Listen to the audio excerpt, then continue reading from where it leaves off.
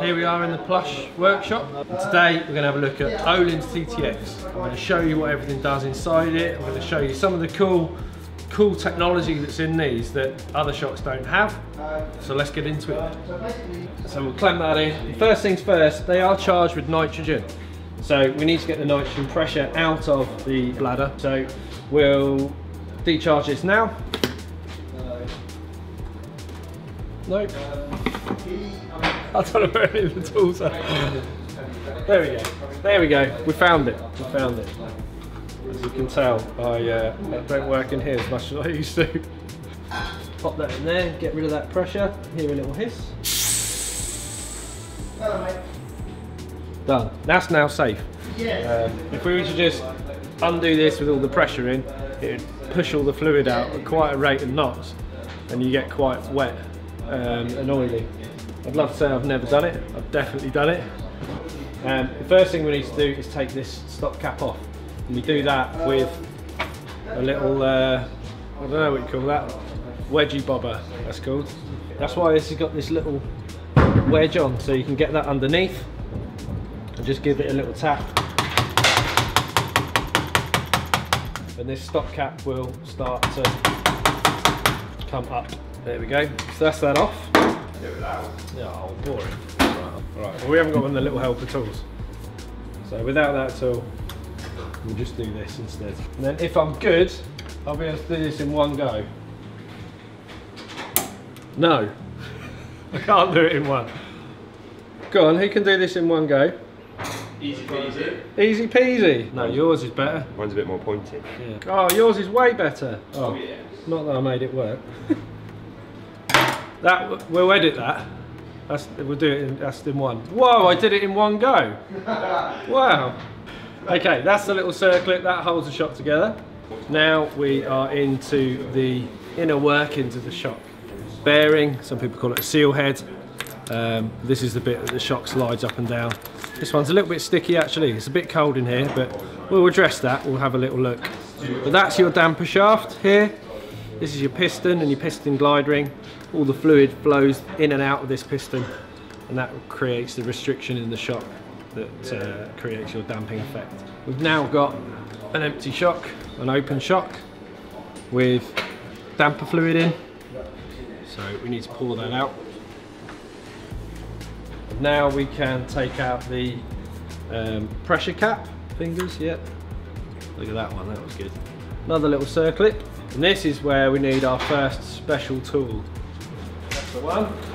Daz has got all the tools. I should have should have should have kicked Daz off of his station. Shouldn't like that. Yeah. It is the most well equipped station. It is a good good service station. So screw this in here just allows us to uh, pull the pressure cap out. There we go. That's our pressure cap. And that's the thing we put the uh, nitrogen needle through earlier. That holds all the all the pressure back. You can see this rubber um, puck here, little pressure seal. Bit more fluid in there now. You can just see inside this part here, the piggyback. Next up, we can take the adjuster assembly out and the compression assembly. Now this is all housed in this little part here and there's some cool stuff going on in here. So I'll just whip everything off. Again, pretty standard tooling. Oh, PB Swiss Allen keys by the way. The best Allen keys on the planet. Thank you PB Swiss for letting me buy these from you. there we go. This is Whee. So that is our low speed compression adjuster off. So I can now take the compression assembly off. We're on to specialist tool number two. Has anyone got an Öhlins castle tool? Turret tool. You know, the one that looks like a castle. I call it a turret tool because it looks like a turret. You can actually see on this, it's got a blue valve. So this blue anodized valve denotes that that assembly is two settings of high speed and then the last setting is like a, a, pedal platform. The gold version of this is three settings of high speed and no pedal platform. So you usually find the blue valve on the shorter stroke shocks because they're kind of more for enduro shocks. But there's also a gold valve that you'll find on the longer shocks, the downhill shocks. However, we can interchange them. So if you don't want a lockout on your shorter, shorter stroke shock, we can put a gold valve in your shock and you get three settings of high speed. So that is our valve assembly and shim arrangement, much like the main piston. Um, but I'll explain what they do in a sec. And there's a little tiny hole here uh, that adjusts our, our low speed compression flow. And I'll, I'll, take this apart and show you what all the bits do. Um, but it, we'll leave that for a second and we'll come back to our main piston. On a twin tube system, you're allowing the fluid to actually go to circulate through the shock and back behind the piston. So the pressure difference between the front and the back of the piston uh, are more similar. They're still different, but they're more similar to each other. Um, and that's what these twin tubes do. They allow a flow of fluid when you compress the piston. So I can actually put this in here. So when you compress the piston through the tube, through here, it pushes fluid out here, but fluid is allowed to go back behind the piston by having two tubes. that helps to reduce the damper pressure. So we'll take the main compression assembly uh, apart now, which is this, this part here. This is the piston, glide ring. You can see the two sets of shims either side of the piston. These help to displace the fluid. And we can actually change these shims, these little thin, thin washers, to change how much resistance or how much force it takes to push that piston through the fluid. It's a little bit like having a plate underneath the water in your in your sink you're washing up uh, and you try and pull the plate out of the water really fast. You've got to displace all the all the fluid off the plate to get it out of the water. If you drill holes in that plate you can actually tune how much force it takes to get that plate out of the washing bowl. And that's exactly what this does. So the less holes there are in it the stiffer it is. So It does make it slightly harder to read off though, holes in a plate?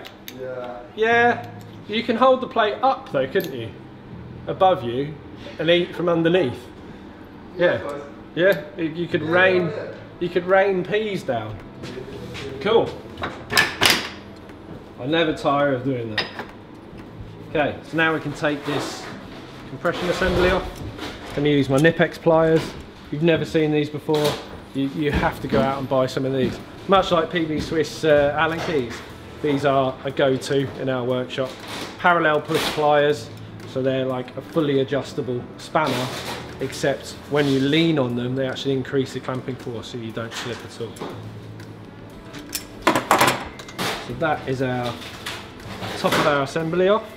Seal heads, got our stop cap, bump stop, and then we're left with the shaft and the rebound needle, which you can just about see in the top there. Luckily Ben's got a good camera and you can just see there's a little there's a little angle on this needle. And that is the thing. That is the thing that adjusts the flow of fluid back through the piston on the rebound stroke. So the further that rebound needle is protruding into this hole the more of the hole that it covers the more restriction there is with the fluid coming back on, on, on low speed rebound. High speed rebound has a separate circuit, but I'll talk about that in a sec. So that's gone well. Some people call this a adjuster shaft or a metering rod sometimes. So that comes out there. The main event then. Let's start looking at shims. Well actually I can show you the piston architecture now. You can see all these complex flow paths and holes. These round ones here are all um, compression flow. So that's when you sit on the bike or you get a bump, the flow of fluid is flowing through these holes, creating a certain amount of resistance. They then whack into, or the fluid whacks into these shims, pushes the shims out of the way, and that's how we can tune the resistance. On the way back, it goes through these other little holes here. So this flow path here, and this flow path here on rebound stroke and pushes these shims out the way. So that is your rebound shim stack and we can measure these shims. So we measure the diameter and the thickness. We can compare that to the Öhlins tunes and Öhlins give us tune sheets and they actually spec for us based on a rider's weight or the bike's leverage which combination of shims to use. So for instance, if I was to move this shim out of this stack so that we just have these shims here, the amount of fluid that's going to be displaced uh, will be less, which is kind of counterintuitive. So the stiffer it is, the more fluid it displaces, the more force it will take to get the piston to move through the fluid. With Öhlins, it's doubled up with a secondary valve uh, to tune high speed and low speed. This is actually called a base valve, and then this is your, your compression valve set. So there's a second set of shims in here, and that's where things can get really complex. And we maybe won't go into that today. So that's our rebound shim stack, compression shim stack. So it's just two shims on this one. Quite a simple, quite a simple shim stack. There's some spacer shims here, but we, we can ignore those. Also this curved shim on Öhlins that applies pressure to the shim stack. Most shocks uh, will have a shim lift plate. So the, the shims will actually reach a point where they touch something that stops them from over, over flexing basically and then snapping, which is not what you want. This does the opposite, so it's actually round the other way. So it's like a preload. So you're preloading the shim. So slightly different to other other manufacturers, but I can show you these shims now and how flexy they are.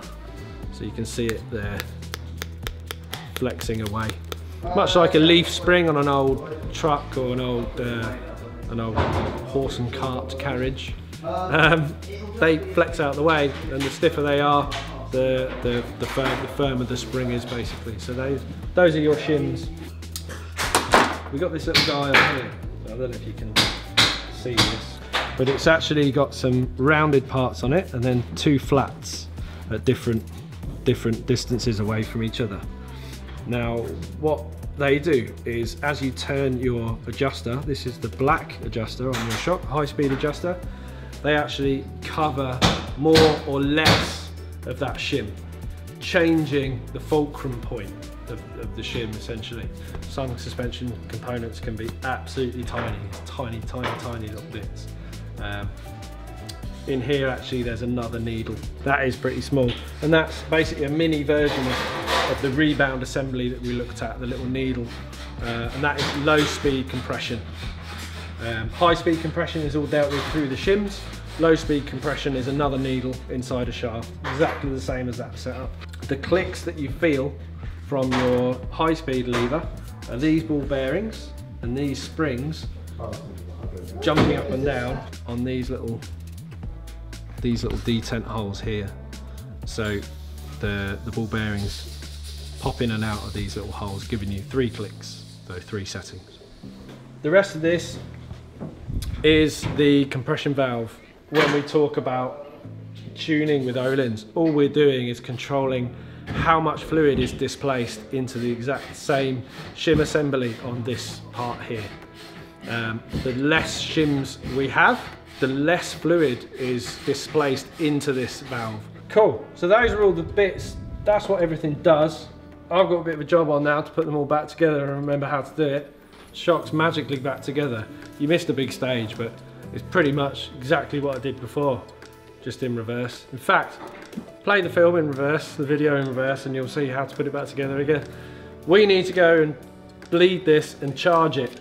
We're gonna use our vacuum pump or vacuum bleed machine to actually uh, fill this full of fluids.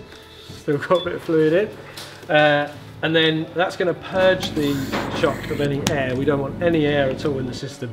Um, then we're going to fill it full of nitrogen. We're going to dyno test it on our hand uh, dyno, our shock squasher, and just check the function. Um, and then that is a shock that can go out to a customer.